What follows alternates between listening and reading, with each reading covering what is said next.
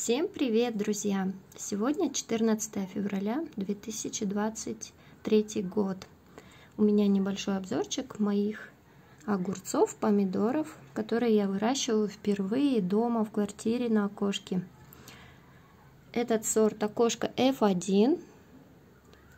За две недели вот так он подрос в пятилитровом горшке. Также огурец Бьерн я пересаживала из стаканчика и повредила ему корни.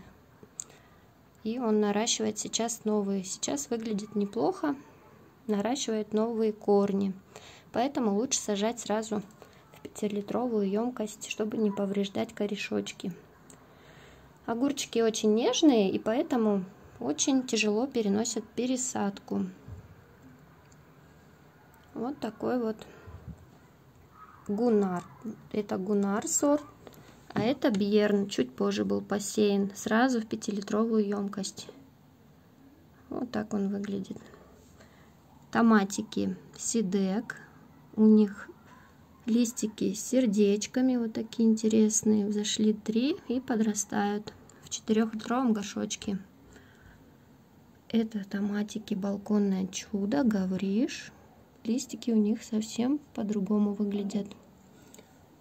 Вот такие томатики на сегодня. Также в 10-литровой емкости у меня посеяны еще огурцы. Один окошко F1. И здесь один подмерз из-за проветривания. И пришлось подсеять еще один. Скоро на днях он зайдет. Это гунар будет. Итого у меня 5 огурчиков на моем окошке. И 5 вот таких помидорчиков на сегодня. По зелени у меня взошла петрушечка. Вот так она сейчас выглядит. Также укроп не очень зашел, как и лук на перо. Ну, мне зелень пока не очень нравится выращивать. Больше нравятся огурчики. Также у меня проблема чуть-чуть возникла с моими адениумами. После пересадки у них корни продолжили гнить. Никакой фитоверм, фитоспорин не помог мне. Гниль сегодня так и отваливалась у меня, и даже рубцы есть. Можете посмотреть, какие большие рубцы. Это все было гнилые корни. Были, видимо, рано я их посадила посадка предыдущего моего видео была неудачной. Два-три адениума полностью пришлось обрезать. Гниль зашла слишком далеко. Фитоспорин не выручил меня. Никакие замачивания, ничего не помогло. Адениумы лучше просушить, гниль убрать. Она сама отваливается, когда вот рубцы можете увидеть. Это было гниль, была гниль. Я залила ее этим, как он называется-то, перекисью водорода. Также мне нужно медицинский клей купить потом, когда все просохнет хорошенько, и замазать медицинским клеем. Но сажать я не буду торопиться, посмотрю на их состояние. Видимо, я не умею их распознавать, когда они начинают рост. Видимо, они сейчас в спящем режиме у меня все. Вот эти, которые более-менее еще выжили. Спящий режим. Но корни продолжили гнить, к сожалению. Вот эта чернота сейчас в тепле возле батареи Адениум должен сам себя залечить. Кое-где, конечно, я удалила гниль, вырезала. Где-то придется еще удалить и залить перекисью водорода. Вот такие не очень хорошие результаты по адениуму. И их рост пока еще не виден совершенно наоборот. Корни продолжили гнить, к сожалению. Но я надеюсь на лучшее, что эти у меня выживут. Сажать я их не тороплюсь. гниль уже остановилась вроде как, отвалилась кое-где. Но буду перекиси продолжать обрабатывать, сажать вообще ни в коем случае не нужно было. Видимо, дополнительная сырость еще усугубила положение. Гнилые корни только увеличились. Все мелкие сосущие корешки пришлось удалить.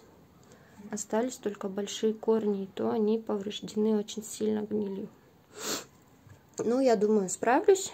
Хотя бы эти пять мне нужно спасти как-то. На этих надежды у меня особо нету, как черенки. Они тоже загнивают периодически. В воде они не укореняются. У меня в перлите не укореняются. Не знаю, что придется их выбросить, скорее всего. Но пока оставляю, тоже подсушиваю, чтобы они не гнили подсушу хорошенько, а там посмотрим. Придется поставить либо воду, либо опять в перлит. По укоренению очень тяжело с ними. Вот такие результаты по адениуму мне очень-то веселые. Больше радует рассада на окошке. Цветочки бегонии радуют очень сильно. Вот такие яркие цветы соленья эприкот цветет и радует. Пересадила в новый грунт нестеровский, и она у меня потихоньку разрастается. В предыдущем грунте, к сожалению, листики были такие тоже странные, больные. А сейчас здоровое растение, здоровая земля. Все хорошо с ним. Надеюсь, вот на этой красивой нотке я закончу свое видео. Надеюсь, что с адениумами я как-нибудь подружусь, и они у меня начнут расти. Сажать я их не тороплюсь, надо еще очень долго просушивать корешочки, всю гниль полностью зачищать. Либо она сама отвалится, как вот в этом случае и дальше уже здоровая и чистая ткань будет. Нужно будет ее только перекисью обработать и хорошенько подсушить и позже медицинским клеем заклеить. Как сажать буду его, я не знаю. Вот такая вот история у меня с адениумами, не очень-то веселая.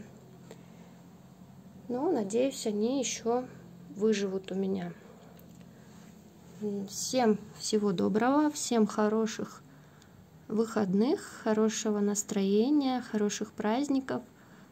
Самое главное мира, добра, здоровья, всего на, самого наилучшего. Всем пока-пока.